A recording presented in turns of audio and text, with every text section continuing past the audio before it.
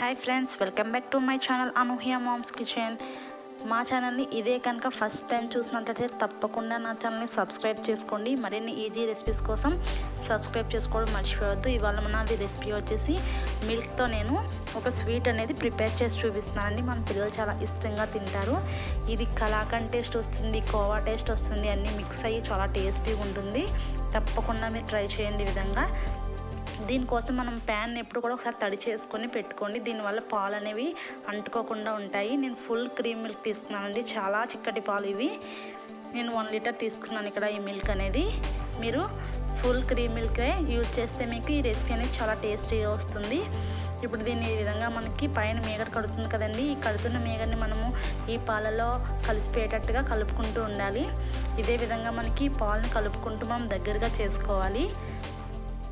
మనకి ఎప్పుడు మేగడ వస్తే అప్పుడు ఆ మేగడని తీసి మనము మళ్ళీ ఆ పాలలో మిక్స్ చేసి అలా అదే విధంగా మనం అలా మిక్స్ చేస్తూ ఉండాలి.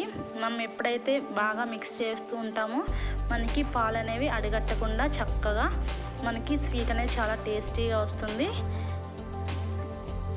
ఇది ఫ్లేమ్ని మీడియంలో పెట్టుకొని చేసుకోండి. హైలో కూడా పెట్టుకొని మనం చేసుకోవచ్చు. కానీ మనం దగ్గరుండి ఇదే విధంగా మనం ఇలా మిక్స్ చేసుకుంటూ ఉన్నట్లయితే మనం ఫ్లేమ్ని హైలో కూడా ఉంచుకొని ఈ రెసిపీ అనేది మనం ప్రిపేర్ చేసుకోవచ్చు.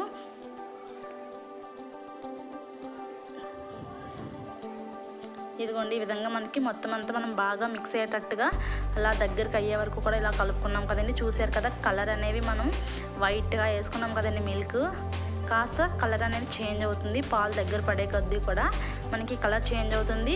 మనకి పైన వచ్చినటువంటి మేఘని మనము ఈ విధంగా మనము ఇదే పాలలో కలిపేస్తున్నాం కాబట్టి అవి మనకి చక్కగా మనం స్వీట్ తినేటప్పుడు మనకి చక్కగా తగులుతుంది అది. ఇదే విధంగా మనం బాగా దగ్గరగా చేసుకున్నాం దీన్ని. ఇదిగోని మనకి మనకి చాలా బాగా దగ్గరగా అయింది కదా ఇప్పుడు.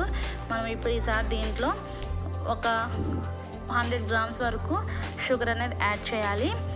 దీనికి ఎక్కువ షుగర్ ఏమీ యాడ్ చేయనక్కర్లేదండి. మనం హండ్రెడ్ గ్రామ్స్ షుగర్ అనేది సరిపోతుంది వన్ లీటర్ మిల్క్కి. వన్ లీటర్ మిల్క్కి హండ్రెడ్ గ్రామ్స్ షుగర్ యాడ్ చేసిన తర్వాత మనం దీంట్లో సన్నగా కట్ చేసుకున్నటువంటి నేను కాజు బాదం కూడా బాదం నానబెట్టి తొక్క తీసానండి అవి కూడా కట్ చేసి చిన్న చిన్న ముక్కలుగా ఈ స్వీట్లో యాడ్ చేశాను. ఇవి యాడ్ చేయడం వల్ల మన పిల్లలకి మంచి హెల్దీ అనేసి నేను ఈ స్వీట్లో యాడ్ చేశాను. ఇందులో మనకి మిల్క్ కూడా చాలా హెల్దీ అండి. మనం యాడ్ చేసిన డ్రై ఫ్రూట్స్ కూడా చాలా హెల్దీ కాబట్టి మన పిల్లలకి ఈ స్వీట్ తప్పకుండా మనం ఇంట్లో ప్రిపేర్ చేసి పెట్టచ్చు. ఈ విధంగా మనం మొత్తం అంతా దగ్గరగా అయ్యేటట్టుగా మనం కలుపుకోవాలి. ఇది మనకు ప్యాన్ నుండి సపరేట్ అయిపోతుందండి. చూస్తారు కదా మనకు అసలు ప్యాన్ కంటుకోకుండా సపరేట్ అయిపోతుంది. ఇలా మనం చిన్న తీసి చూసినట్లయితే ఇది ఉండ అయ్యేటట్టుగా వస్తే కనుక మనకి స్వీట్ అనేది రెడీ అయిపోయినట్లే. ఇప్పుడు మనం స్టవ్ ఆఫ్ చేసుకొని ఇలాగ ఒక ప్లేట్లో తీసుకోవచ్చు. మనం ప్లేట్కి ఏమి నెయ్యి ఏమి అప్లై చేయక్కర్లేదండి.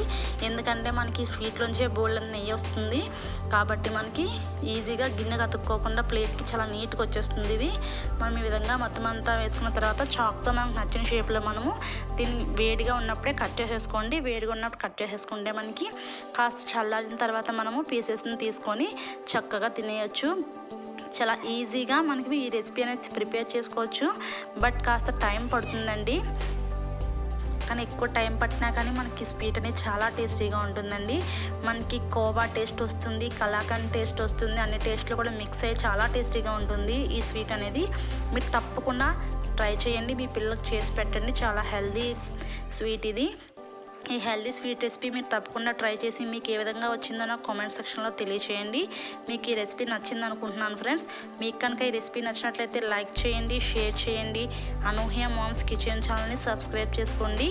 నా ఛానల్ని సబ్స్క్రైబ్ చేసుకోవడం అనేది మర్చిపోవద్దు. Thank you for watching my video friends. Bye bye